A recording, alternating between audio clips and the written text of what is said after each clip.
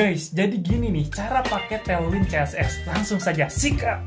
Nah guys, jadi buat kalian yang belum tahu apa itu Tailwind ya, nah Tailwind ini adalah framework untuk CSS yang berbasis Utility First CSS Framework, di mana Tailwind ini untuk membuat sebuah website atau membangun sebuah website yang modern. Nah kalian bisa pakai Tailwind ini, kunjungi aja websitenya di sini nih guys, tailwindcss.com terus klik tombol Get Started. Nah, di sini setidaknya ada empat cara yang bisa kalian gunakan untuk install Tailwind ini. Pertama, menggunakan CLI, menggunakan PostCSS, Framework Guides, dan juga PlayCDN. Nah, menggunakan PlayCDN ini adalah cara yang paling simple guys. Karena kalian tinggal sat set sat set masukin scriptnya di head, udah kalian bisa pakai kelas-kelas yang ada di Tailwind ini. Tapi cara ini kurang direkomendasikan. Nah, di sini gue merekomendasikan untuk install Tailwind-nya menggunakan CLI. Nah, setidaknya ada beberapa step yang harus kalian lakukan untuk menginstal Tailwind ini menggunakan CLI Pertama, kalian buat dulu sebuah project di PS Code-nya guys, kayak gini nih. Gua buat sebuah folder beri nama Tailwind. Lalu buka terminal guys. Lalu kalian tinggal install Tailwind-nya kayak gini, npm install -d tailwind css.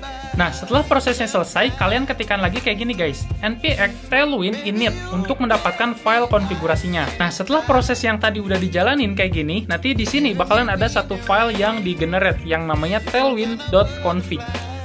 Nah, di sini di bagian konten kalian tinggal masukin kayak gini guys.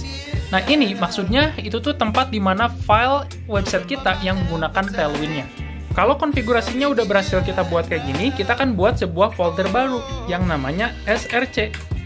Setelah kalian buat folder src, kalian buat satu file baru nih yang namanya input.css. Buka filenya, terus masukin kayak gini guys.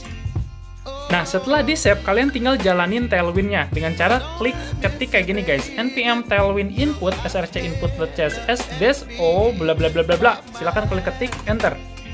Nah, setelah gue jalanin kayak gini, nanti hasilnya kayak gini ya. Terus gue bakalan buat file baru yang namanya output.css. Nah, setelah itu gue bikin satu file baru lagi yang namanya index.html. Ini adalah file di mana website gue nanti akan di ya. Nah, di sini gue tinggal paste aja, terus gue coba save, terus gue tinggal klik kanan, lalu open with live server. Ini nih, show preview guys. Tinggal klik, nanti bakalan ada menu dibuka. Nah, ini nih, ini kita udah bisa pakai Tailwind-nya. Nah, jadi gitu guys, cara pakai Tailwind CSS. Kalian tinggal pakai kelas-kelasnya di sini, oke? Okay? Di halaman HTML kalian.